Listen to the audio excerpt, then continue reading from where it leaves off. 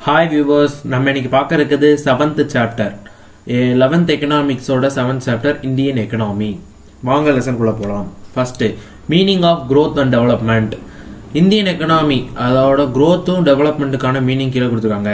கண்ட்ரியோட economic growth அதாவது கண்ட்ரியோட economy வந்து எப்படி மெஷர் பண்ணுறாங்க அப்படின்னா கிராஸ் டொமஸ்டிக் ப்ராடக்ட் அதாவது ஜிடிபி அதை வச்சு மெஷர் பண்ணுறாங்க இதுதான் அதோட meaning country's economic growth is usually measured by national income identified by gross domestic product அடுத்து மீனிங் ஆஃப் டெவலப்மெண்ட் டெவலப்மெண்ட்டோட மீனிங்ஸ் என்னென்ன அப்படின்னு பார்த்தீங்கன்னா the level of economic development is not just identified by GDP but by an increase in citizens quality of life or well-being the quality of the life is well-being assessed by several identities such as human development index HDI physical quality of life index PQLI and gross national happiness index GNHI அப்படின்னு நாலு வகையில் கொடுத்துருக்காங்க. First HDI PQLI GNHI இதை மூணு இதை வச்சு தான் இந்த கண்ட்ரி எவ்வளோ டெவலப்மெண்ட் அதாவது எவ்வளோ வளர்ச்சி அடைஞ்சிருக்கு அப்படின்றத கண்டுபிடிக்கிறாங்க. அதுக்கடுத்து இந்தியன் எக்கனாமி இந்தியன் எக்கனாமி பற்றி ஒரு சில பாயிண்ட்ஸ் கொடுத்துருக்காங்க. ஃபஸ்ட்டு இந்தியன் எக்கனாமி வந்து செவன்த் லார்ஜஸ்ட் எக்கனாமி அதாவது வேர்ல்டுலேயே இது வந்து செவன்த் லார்ஜஸ்ட் எக்கனாமி அப்படின்னு சொல்கிறாங்க இந்தியா வந்து இதோட ராபஸ்ட் பொசிஷன் அதாவது ஆவரேஜ் ரேட்டிங் பார்த்தீங்கன்னா செவன் பர்சன்டேஜ் அதுக்கடுத்து e ஈவன் இந்த இது வந்து நமக்கு வந்து பேக்வர்ட்னஸ் அது மாதிரிலாம் நம்ம வந்து பண்ணிட்டு இருக்கோம் இப்போ நம்ம வந்து முன்னாடி இருந்ததை விட இப்போ நம்ம நிறைய டெக்னாலஜிஸ் ஆகட்டும் எல்லாமே நம்ம வந்து முன்னேறிட்டே வரோம். அதாவது டெவலப் ஆகிட்டு வரோம். நம்ம இப்போ டெவலப்பிங் நேஷனில் ஒன்றா இருக்கோம். அடுத்து நம்ம டெவலப்டு நேஷன்ஸோட சில ஃபியூச்சர்ஸ்லாம் கீழே கொடுத்துருந்தாங்க. அதை நம்ம இப்போ வரிசையாக பார்த்துடலாம். High national income high per capita income high standard of living full employment of resources இப்போ ஒரு நாலு எக்ஸாம்பிள் சொல்லியிருக்கோம். இப்போ டெவலப்மெண்ட் டெவலப்டு எக்கனாமியில் என்னென்ன இருக்கணும்? நேஷனல் இன்கம் ரொம்ப ஹையாக இருக்கணும். பெர் கேபிட்டா இன்கம் தனி மனிதனோட இன்கம் ரொம்ப ஹையாக இருக்கணும். அதுக்கடுத்து அவங்களோட வாழ்வாதாரம் வந்து ரொம்ப உயர்ந்த நிலையில் இருக்கணும். அதுக்கடுத்து அந்த எக்கனாமியில் வந்து ஃபுல் எம்ப்ளாய்மெண்ட் அதாவது எம்ப்ளாய்மெண்ட் ஆப்பர்ச்சுனிட்டிஸ் ஃபுல்லாக இருக்கணும் அப்படின்னு சொல்லியிருக்காங்க. அதுக்கடுத்து இந்தியன் எக்கனாமியோட ஃபியூச்சர்ஸ் அதாவது நம்ம ஸ்ட்ரென்த் வீக்னஸ் ரெண்டா இருக்கு. ஃபர்ஸ்ட் நம்ம ஸ்ட்ரென்த்தை பார்த்துடலாம். India as a mixed economy அதாவது இந்தியா வந்து மிக்ஸ்டு எக்கனாமி இதை யார் வந்து ப்ரொஃபோன் பண்ணியிருக்கா அப்படின்னா ஜவஹர்லால் நேரு. இதில் வந்து என்ன என்னது public and private sector joins to me produce finished product அதாவது இதில் என்ன சொல்கிறாங்கன்னா பப்ளிக் அண்ட் ப்ரைவேட் அதாவது கவர்மெண்ட்டும் ப்ரைவேட் இன்ஸ்டிடியூஷன் அதாவது இண்டஸ்ட்ரீஸும் சேர்ந்து இது பண்ணுறாங்க இந்த எக்கனாமியில் இந்த எக்கனாமியை பொறுத்தளவு செவன்டி ஃபைவ் பர்சன்டேஜ் கவர்மெண்டோட இதாக இருக்கும். டுவெண்ட்டி ஃபைவ் பர்சன்டேஜ் ப்ரைவேட்டோட ரோலாக இருக்கும்.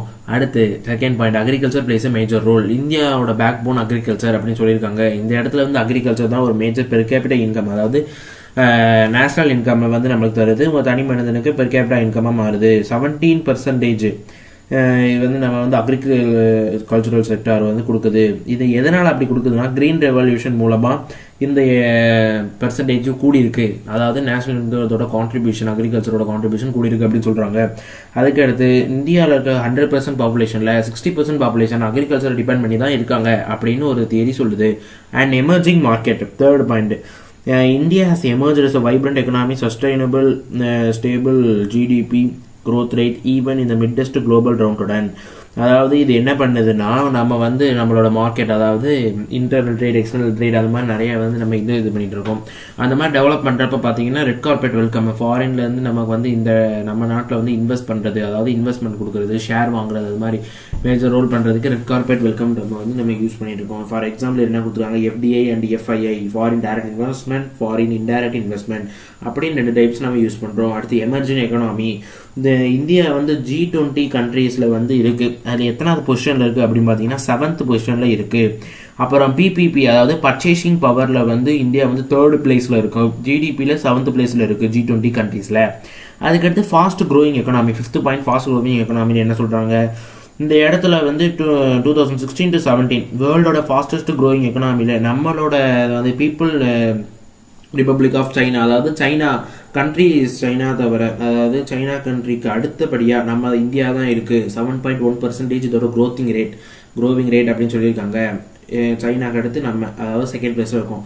ஃபாஸ்டஸ்ட் க்ரோவிங் சர்வீஸ் செக்டார் இப்போ வந்து நம்ம மோஸ்ட்லாக ஃபஸ்ட்டு நம்ம என்ன பண்ணியிருந்தோம்? அக்ரிகல்ச்சர் தெரிஞ்சது அதனால் பிரைமரி செக்டார் நிறையா கான்ட்ரிபியூஷன் ஆச்சு. அடுத்து செகண்டரி செக்டார் அடுத்து இப்போ தேர்டரி செக்டார் ஆனால் சர்வீஸ் செக்டார் தான் நிறையா கான்ட்ரிபியூஷன் பண்ணிகிட்டு இருக்கு. நம்ம நாட்டோட ஜிடிபிலையும் அப்புறம் internal international external ட்ரேட்ஸ்லையும் service sector major role play பண்ணுது அப்படின்னு சொல்கிறாங்க அடுத்து லார்ஜ் டொமஸ்டிக் கன்சம்ஷன் இதில் வந்து என்ன ஆகுதுன்னா with the faster growth rate in economy the standard of living has improved a lot அதாவது இந்த டொமஸ்டிக் கன்சம்ஷன் வந்து நம்மளோட லிவிங் அதாவது நம்ம வாழ்வாதாரம் வந்து ரொம்ப வளர்ச்சி அடைஞ்சிருக்கு அப்படின்னு சொல்கிறாங்க இந்த இடத்துல வந்து நம்ம லைஃப் ஸ்டைல் வந்து மாறும். சில இடத்துல மாறாமல் இருக்கும். நம்ம இன்கம்மை பொறுத்தளவு மாறும்ல. அதெல்லாம் இந்த இடத்துல அப்படி சொல்லியிருக்காங்க. Rapid growth of up urban areas இந்த இடத்துல அர்பன் ஏரியாஸ் எப்படி ரேப்பிடாக அதாவது உடனே க்ரோ ஆகுது அப்படின்னு பார்த்தீங்கன்னா அந்த இடத்த வந்து நம்ம வந்து ட்ரேடிக்கு ரொம்ப பயன்படுத்துகிறோம் ட்ரேடுக்கு ரொம்ப பயன்படுத்துகிறோம் அப்படின்னா அந்த இடம் வந்து அதாவது அந்த சிட்டி அந்த டவுன் அந்த வில்லேஜ் வந்து டவுனாக மாறி டவுன் வந்து சிட்டியாக மாறிடும். அதுதான் இந்த இடத்துல rapid growth of urban areas ஒரு இடத்த வந்து நம்ம தொடர்ந்து பயன்படுத்திக்கிட்டே இருந்தோம் அப்படின்னா அந்த இடம் வந்து வளர்ச்சி அடையுது ஒரு பிளேஸ் அந்த பிளேஸ் வளர்ச்சி அடைகிறது மூலமாக நம்ம வந்து ரேபிட் க்ரோத்தை வந்து அடையலாம். அடுத்து ஸ்டேபிள் மேக்ரோ எக்கனாமி இந்தியா வந்து மேக்ரோ எக்கனாமியில் ஒரு ஸ்டேபிளான பொசிஷனில் இருக்குது ஒரு எக்கனாமிக் சர்வே என்ன சொல்லுது? Haven of macro stability reliance and optimization Indian எக்கனாமியை அப்படி சொல்லியிருக்காங்க. டூ தௌசண்ட் ஃபோர்டீன் டு ஃபிஃப்டீனில் எயிட் பெர்சன்டேஜ் வந்து இருந்துச்சு ஜிடிபி அப்புறம் இப்போ வந்து பார்த்தீங்கன்னா கொஞ்சம் கம்மியாக இருக்குது அதாவது ஜீரோ பாயிண்ட் ஃபோர் வந்து கம்மியாக இருக்குது செவன் பாயிண்ட் சிக்ஸ் பெர்சன்டேஜ் வந்து க்ரோத்திங் ரேட் அதாவது stable macro economic growth macro economic க்ரோத்தில் இது இருக்குது செவன் பாயிண்ட் சிக்ஸ் பர்சன்டேஜ் அடுத்து டெமோக்ராபிக் டிவிடெண்ட் இந்த இடத்துல டெமோக்ராபிக் டிபெண்ட் என்ன அப்படி சொல்கிறாங்கன்னா ஸ்டடி ஆஃப் பாப்புலேஷன் பாப்புலேஷனை வந்து ஸ்டடி பண்ணுறது அதாவது பாப்புலேஷனை பற்றி படிக்கிறது. எத்தனை எவ்வளோ பர்சன்டேஜ் யூத் இருக்காங்க? எவ்வளோ பர்சன்டேஜ் வந்து ரொம்ப சைல்டு அதாவது சைல்டு பிலோ ஃபைவ் அதுக்கடுத்து யார் யார் எபோ டுவெண்ட்டி அதாவது சீனியர் சிட்டிசன்ஸ் எயிட்டி மேலே யார் யார் இருக்காங்களோ அது மாதிரி நம்ம பாப்புலேஷனை ஸ்டடி பண்ணுறது தான் டெமோகிராபிக் டிவிடெண்ட் அப்படின்னு சொல்கிறாங்க அதுக்கடுத்து வீக்னஸ் இப்போ வந்து ஸ்ட்ரென்த் வரிசையாக பார்த்தா அடுத்து வீக்னஸ் பார்க்கணும். லார்ஜ் பாப்புலேஷன் பாப்புலேஷன் வந்து நம்ம இடத்துல வந்து ரொம்ப கூட்டிகிட்டே போகுது இன்க்ரீஸ் ஆகிட்டே போகுது. இப்போ வர சென்சஸ் பார்த்தீங்கன்னா நம்ம நம்ம தான் ஃபஸ்ட்டு பா வேர்ல்ட்லேயே ஃபஸ்ட் பாப்புலேஷனில் இருப்போம் அப்படின்னு நினைக்கிறோம். இந்த இடத்துல வந்து த என்ன சொல்லியிருக்காங்க அப்படின்னா ச- சைனாக்கு அடுத்தபடியாக நம்ம இருந்திருக்கோம். பிஃபோர் டென் இயர்ஸ் அதாவது டூ தௌசண்ட் லெவன் சென்சஸ் படி. அடுத்து இன்இக்வாலிட்டி அண்டு பாவர்ட்டி இதில் என்ன சொல்கிறாங்க அப்படின்னா ரொம்ப அதிகமான பாப்புலேஷன் இருக்கனால எல்லாரையும் ஒரே மாதிரி நம்மளால ட்ரீட் பண்ண முடியாது. அப்படியே ட்ரீட் பண்ணாலும் அங்கே சில இன்இக்வாலிட்டிஸ் வரும். பற்றாக்குறை வறுமை ஏற்படும் அப்படின்னு சொல்லியிருக்காங்க. அடுத்து increasing prices of essential good ரொம்ப பாப்புலேஷன் இருந்துச்சு அப்படின்னா ரொம்ப நெசசரியான குட்ஸ் எல்லாருமே கன்சம்ஷன் பண்ண ஆரம்பிப்பாங்க. சில பேர் ஆடம்பர தேவைக்காக வாழ்றாங்க. அதாவது இன்இக்வாலிட்டி ரிச் பேசன் வந்து நம்ம வந்து வாங்கிட்டு இருக்காங்க அப்படின்னா ரொம்ப அதிகமான குட்ஸ் வாங்கி அவங்க கன்சம்ஷன் பண்ணுவாங்க. அப்போ நம்மளோட எசென்சியல் குட்ஸ் வந்து க- கம்மியாகும்.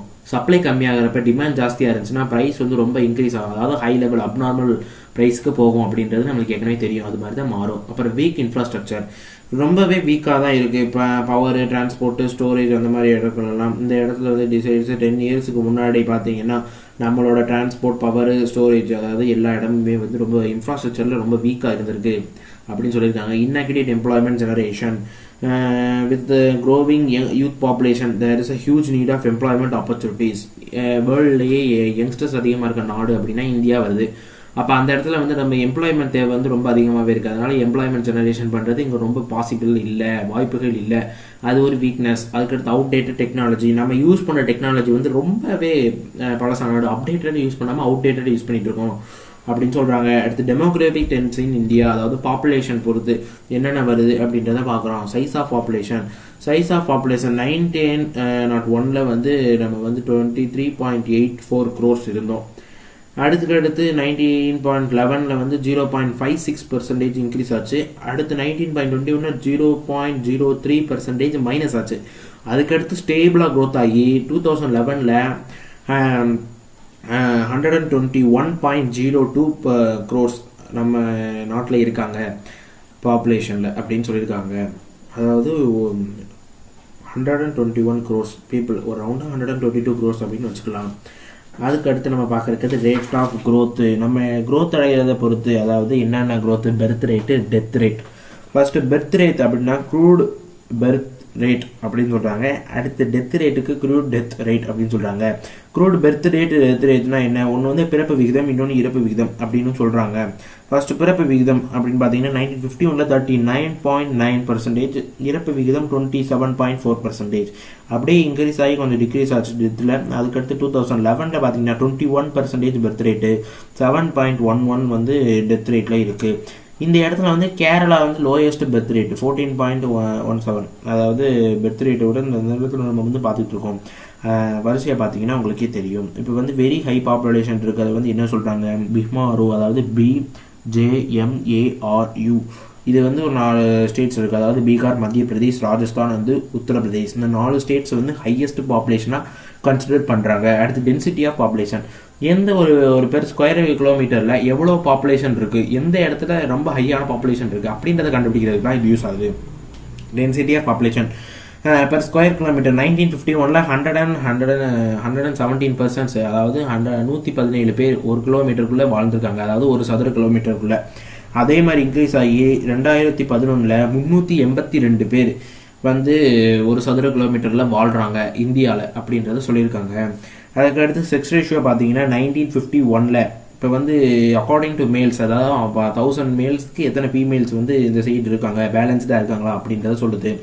அது வந்து பேலன்ஸ்டாக இல்லை. நைன்டீன் ஃபிஃப்டி ஒனில் பார்த்தீங்கன்னா ஹண்ட்ரட் மேல்ஸு ஆனால் ninety nine hundred and forty six females தான் இருக்காங்க. அதே மாதிரி டூ தௌசண்ட் லெவனில் பார்த்தீங்கன்னா nine hundred and forty nineteen fifty ஒனில் இருந்ததை விட ரொம்ப கம்மியாக இருக்குது ஹண்ட்ரட் டூ டூ தௌசண்ட் லெவனில் இந்த இடத்துல வந்து கேரளா தான் வந்து செக்ஸ் ரேஷியோவில் ஃபஸ்ட்டு இருக்குது அப்படின்னு சொல்கிறாங்க மேல்ஸை விட ஃபார்ட்டி எயிட் ஃபீமேல்ஸ் வந்து அதிகமாக இருக்காங்க. தௌசண்ட் மேல்ஸுக்கு தௌசண்ட் ஃபார்ட்டி எயிட் ஃபீமேல்ஸ் கேரளாவில் இருக்காங்க அப்படின்றத இந்த இடத்துல குறிப்பிட்டிருக்காங்க. ஆவரேஜாக பார்த்தீங்கன்னா இந்தியாவை பொறுத்தளவு லோயஸ்ட் செக்ஸ் ரேஷியோ வந்து ஹரியானாவை சொல்கிறாங்க எவ்வளோ thousand மேல்ஸுக்கு eight hundred and seventy seven females தான் இருக்காங்க அப்படின்றத சொல்லியிருக்காங்க. மற்ற ஸ்டேட்ஸோட கம்பேர் பண்ணுறப்ப thousand eighty four females per thousand மேல்ஸ்ன்றது ரொம்ப ஹையான செக்ஸ் ரேஷியோ அப்படின்றத கேரளாவில் நம்ம இந்தியன் கவர்மெண்ட் வந்து க கன்சிடர் பண்ணி அறிவிச்சிருக்காங்க. அதுக்கடுத்து லைஃப் எக்ஸ்பெக்டன்சி அட் பர்த் நம்ம இந்தியாவை பொறுத்தளவு லைஃப் லைஃப் எக்ஸ்பெக்டன்சி பார்த்தீங்கன்னா sixty three point five years அது வந்து மேல்ஸுக்கும் ஃபீமேல்ஸுக்கும் தனித்தனியாக கொடுத்துருக்காங்க. பார்த்தீங்கன்னா உங்களுக்கே தெரியும். ஓவராலாக அப்படி பார்த்தீங்கன்னா நைன்டீன் ஃபிஃப்டி ஒனில் தேர்ட்டி டூ இருந்துச்சு நைன்டீன் நைன்டி ஒனில் ஃபிஃப்டி எயிட்டு அதுக்கடுத்து சிக்ஸ்டி டூ பர்சன்டேஜ் வந்து இப்போ sixty three point five years தான் நம்ம லைஃப் எக்ஸ்பெண்டன்சி அப்படின்னு சொல்லியிருக்காங்க. அடுத்து லிட்ரஸி ரேஷியோ அதாவது எஜுகேஷன் ரேட்டு நம்ம இந்தியாவை பொறுத்தளவு எயிட்டி டூ பர்சன்டேஜ் மேல்ஸ் வந்து எஜுகேட்டடாக இருக்காங்க. Sixty five point five percentage males ரெண்டுமே தௌசண்ட்க்கு sixty five point five percentage females வந்து எஜுகேட்டடாக இருக்காங்க. இப்போ ஓவரால் லிட்ரேசி ரேட் பார்த்தீங்க அப்படின்னா seventy four point zero four percentage ஹண்ட்ரடுக்கு seventy four point zero one four percentage people வந்து போத் லேடிஸ் அண்டு ஜென்ட்ஸ் பார்த்தீங்கன்னா literacy rate seventy four point zero four percentage அதாவது கிட்டத்தட்ட செவன்ட்டி ஃபைவ் பர்சன்டேஜ் மாதிரி. அதுக்கடுத்து இது பார்த்தீங்கன்னா நம்ம வந்து டெவலப்டு கண்ட்ரியோட கம்பேர் பண்ணுறப்ப ஸ்ரீலங்கா வந்து ஸ்ரீலங்கா விட நம்மளோட லிட்ரஸி ரேட் வந்து ரொம்ப கம்மியாக இருக்குது டெவலப்டு நேஷனான அமெரிக்கா அது மாதிரி நம்ம இந்தியாவை லிட்ரஸி ரேட்டோட கம்பேர் பண்ணுறப்ப நம்ம வந்து கம்மியாக தான் இருக்கும். ஆனால் even though Sri Lanka is and little island அந்த ஐஸ்லேண்டோட நம்ம பண்ணுற கம்பேர் பண்ணுறப்ப அங்கே இருக்க லிட்ரஸி ரேட்டை விட இந்தியாவில் இருக்க லிட்ரஸி ரேட் வந்து அதாவது எஜுகேஷன் ரேட் வந்து ரொம்ப குறைவாக இருக்குது அப்படின்றத சொல்கிறாங்க அதுக்கடுத்து நம்ம பார்க்க இருக்கிறது நேச்சுரல் ரிசோர்சஸ் நேச்சுரல் ரிசோர்சஸ் வந்து இந்தியாவில் என்னென்ன இருக்குது அப்படின்னா லேண்டு ஃபாரஸ்ட் மினரல் மினரலில் வந்து நிறையா டைப்ஸ் கொடுத்துருக்காங்க. ஃபர்ஸ்ட் லேண்ட் ரிசோர்ஸஸில் பார்த்துருவோம். Thirty two point eight lakh square கிலோமீட்டராக நம்மளோட லேண்ட் இருக்குது overall world two point four two percentage நம்ம வந்து கான்ட்ரிபியூட் பண்ணியிருக்கோம் நம்ம கண்ட்ரி நம்ம கண்ட்ரி உண்மையாலே ரொம்ப பெரிய கண்ட்ரி அப்படின்னு சொல்லியிருக்காங்க. இது வந்து land man ratio is not favourable because of huge population size இந்த இடத்துல பாப்புலேஷன் ரொம்ப அதிகமாக இருக்கனால லேண்ட் வந்து ரொம்ப நம்மளுக்கு ஃபேவராக இல்லை அப்படின்னு சொல்லியிருக்காங்க. ஃபாரஸ்ட் ரேட் பார்த்தீங்கன்னா sixty nine point zero nine million hectares which constitute twenty one point zero two percentage of the total geographical area இதில் வந்து eight point thirty five million hectare வந்து dense forest sixty one point zero nine million hectare வந்து ஒரு அடர்ந்த காடு இல்லாமல் ஒரு மாடரேட்டான காடு அதாவது twenty eight point eight four percentage moderately forest அப்படின்னு சொல்லியிருக்காங்க. Twenty eight point eight four million hectare வந்து ஓப்பன் ஃபாரஸ்ட் அப்படின்னு சொல்லியிருக்காங்க. இப்போ நம்ம லேண்ட் பார்த்து ஃபாதர் ஃபாரஸ்ட் பார்த்தோம். அதுக்கடுத்து மினரல் ரிசோர்ஸஸ் பார்க்கணும். மினரல் ரிசோர்ஸில் என்னென்ன இருக்குது first iron ore iron ore வந்து நம்ம இந்தியாவில் ரொம்ப அபுடண்ட்டாகவே இருக்குது அதாவது நிறையாவே இருக்குது அப்படின்னு சொல்கிறாங்க எல்லா கண்ட்ரியை பொறுத்தளவு four fourteen point six three zero million tons of haematite அதாவது அயன் ஓரோட ரா மெட்டீரியல் ஹேமிடேட் அதை வந்து நம்ம ப்ரொடியூஸ் பண்ணுறோம் மேக்னெட்டைட் வந்து பத்தாயிரத்தி அறநூற்றி பத்தொம்போது மில்லியன் டன்ஸ் நம்ம ப்ரொடியூஸ் பண்ணுறோம் அதுக்கடுத்து சட் இது வந்து ஹேமிடேட் வந்து மேஜராக ப்ரொடியூஸ் பண்ணுறது சத்தீஸ்கர் ஜார்க்கண்ட் ஒடிசா கோவா கர்நாடகா. இந்த ஃபைவ் ஸ்டேட்ஸ் அதாவது இந்த ஃபைவ் பிளேசஸ் வந்து ஹேமிடேட் வந்து அதாவது அயனோட ரா மெட்டீரியல் ப்ரொடியூஸ் பண்ணுது. மேகிடைட் ஓரை வந்து யார் ப்ரொடியூஸ் பண்ணுறா அப்படின்னா western coast coast of Karnataka. கர்நாடகாவில் இருக்க வெஸ்டர்ன் கோஸ்ட் வந்து மேஜர் கான்ட்ரிபியூஷன் கொடுக்குது. அப்புறம் பாக்கி சில வந்து கேரளா தமிழ்நாடு ஆந்திர பிரதேஷ் ஆகிய ஸ்டேட்ஸில் அங்கங்கே கொஞ்சம் கொஞ்சம் கிடைக்குது. அதுக்கடுத்து கோல் அண்ட் லிகிடைட் ஃபர்ஸ்ட் கோல் வந்து பார்த்தீங்கன்னா coal is largest available mineral resource India ranks third in world first பிளேஸில் இருக்குது சைனா அதுக்கடுத்து யூஎஸ்ஏ அதுக்கடுத்து தேர்ட் பிளேஸில் இருக்கிறது வந்து இந்தியா. கோலை வந்து நம்ம லார்ஜஸ்ட்டாக ப்ரொடியூஸ் பண்ணுறோம் வெஸ்ட் பெங்கால் பீகார் மத்திய பிரதேஷ் மகாராஷ்டிரா ஒடிசா அண்ட் ஆந்திர பிரதேஷ் இந்த இடங்கள் வந்து பல்காக நம்மளுக்கு கோலை ப்ரொடியூஸ் பண்ணுறாங்க அப்புறம் சில இடத்துல அதாவது பெங்கால் ஜார்க்கண்ட் அங்கங்கே சில கோல் ஃபீல்ட்ஸ் இருக்குது அப்படின்னு சொல்கிறாங்க பாக்ஸைட்டு பாக்ஸைட் வந்து அலுமினியத்தோட ரா மெட்டீரியல் இதுதான் இதுதான் அதோட மெயின் சோர்ஸ் அப்படின்னு சொல்கிறாங்க இது நம்ம எங்கே கண்டுபிடிக்கலாம் அப்படின்னா east coast bauxite deposits of Odisha and Andhra Pradesh Andhra பிரதேஷ்லையும் ஒடிசாவில் இருக்க ஈஸ்ட் கோஸ்ட்டில் வந்து நம்மளுக்கு இந்த பாக்ஸைட் கிடைக்குது அப்படின்னு சொல்கிறாங்க அதுக்கடுத்து மைக்கா மைக்கா வந்து ஒரு பேட் கண்டக்டர் ஆஃப் எலக்ட்ரிசிட்டி இதை வந்து நம்ம சிக்ஸ்டி பர்சன்டேஜ் அதாவது வேர்ல்டுக்கு சிக்ஸ்டி பர்சன்டேஜ் நம்ம இந்தியாவிலேருந்து கான்ட்ரிபியூஷன் போகுது. அதாவது மோர் தென் அதாவது இந்தியா தான் ஃபஸ்ட்டு மைக்கா ஷீட்டை ப்ரொடியூஸ் பண்ணுறதுல இந்தியா ஃபஸ்ட்டு இருக்குன்னு சொல்கிறாங்க இந்த பியரிங் பேங்கடேட் வந்து எங்கெங்க கிடைக்குது அப்படின்னா ஆந்திர பிரதேஷ் ஜார்க்கண்ட் பீகார் அண்ட் ராஜஸ்தான் இந்த பிளேஸ்லாம் கிடைக்குது. அடுத்து க்ரூட் ஆயில் க்ரூட் ஆயில் எங்கெங்க நம்ம நாட்டில் கிடைக்குது அப்படின்னா அசாம் குஜராத் டிக்போய் படாக்பூர் நாகர்கா கசிம்பூர் பலார்னா ருக்பூர் and சிவாங்கர் Moran all in Assam. அசாம்லேயே நிறையா பிளேஸ் இருக்குது அடுத்து ஹே ஆஃப் காம்பட் குஜராத்தில் நிறைய பிளேசஸ் இதுதான் இம்பார்ட்டன்ட் பிளேசஸ் க்ரூட் ஆயில் கண்டுபிடிக்கிற இடம். அதாவது எக்ஸ்ப எக்ஸ்ட்ராக்டிங் இண்டஸ்ட்ரீஸ் இருக்கிற இடம் அப்படின்னு சொல்லியிருக்காங்க. அடுத்து gold gold is largest available in KG அதாவது கோலார் கோல்டு ஃபீல்ட்ஸ் அது வந்து எங்கே இருக்குது Kolar district and Hutti gold field in Raichur district இது ரெண்டுமே கர்நாடகாவில் இருக்குது அடுத்து ராம்கேரி கோல்டு ஃபீல்ட்ஸ் வந்து அட்டன்பூர் டிஸ்ட்ரிக்ட் ஆந்திர பிரதேஷ் இந்த ரெண்டு ஸ்டேட்ஸில் இருக்குது இந்த ஸோ பிளேசஸ்லேருந்து நம்மளுக்கு கோல்டு கிடைக்குது. அடுத்து டைமண்டு அதாவது United Nation Economic Commission for Europe என்ன சொல்லியிருக்காங்க? டைமண்ட் வந்து four thousand five hundred and eighty two percentage எஸ்டிமேட்டடாக thousand carats நம்ம அதாவது four thousand five hundred and eighty two thousand carats நம்ம இடத்துல அவைலபிளாக இருக்குது எந்த இடத்துல? அப்படின்னா பன்னா மத்திய பிரதேசத்தில் இருக்குது இந்த இடத்துல இருக்குது அடுத்து ராம் ராம்ப்ளோட் of Kurnool district of Andhra Pradesh அப்புறம் பேசின்ஸ் ஆஃப் கிருஷ்ணா ரிவரில் சில இடத்துல கிடைக்குது. அங்கே அப்புறம் சில இதர பாகங்கள் அதாவது சில சில டைமண்ட் அதாவது குட்டி குட்டியான டைமண்ட்ஸு அதாவது பவுடராக இருக்கும். சில இடத்துல வந்து பிக்கர் ஸ்டோனாக இருக்கும். அந்த மாதிரி. லார்ஜஸ்டாக இல்லாமல் மைனர் அவைலபிலிட்டியாக இருக்குது சில ஸ்டேட்ஸ்லாம் இருக்குது இந்த வீடியோ உங்களுக்கு பிடிச்சிருந்துச்சுன்னா லைக் பண்ணுங்கள் கமெண்ட் பண்ணுங்கள் ஷேர் அண்ட் சப்ஸ்கிரைப் பண்ணுங்கள் தேங்க்ஸ் ஃபார் வாட்சிங்